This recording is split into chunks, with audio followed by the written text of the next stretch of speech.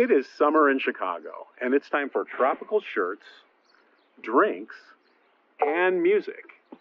And it's also time for the SAP Community Focus. For the entire month of July, our focus will be the SAP Business Technology Platform Kyma Runtime.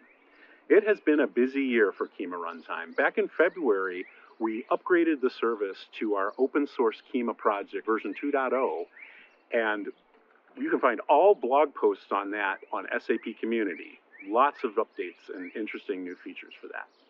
Now, are you new to Kyma Runtime? If so, it's the go to platform for cloud solution extensions. It includes built in service mesh, built in serverless engine, eventing, an API gateway, and service operators. The SAP community focus for the whole month of July, we are planning to release a number of really interesting blog posts. For example, uh, SAP AppGyver, smart home automation powered with Kyma functions.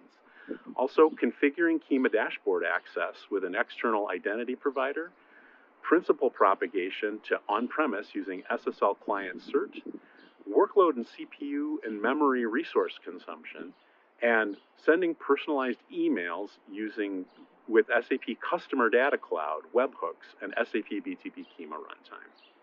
Also, we have planned a coffee corner and a Kyma community call. So stay tuned for info on how to register for those. You can find lots of information about the service, pricing information, and missions to get you started on the SAP Discovery Center. And at developers.sap.com, you can find tons of tutorials.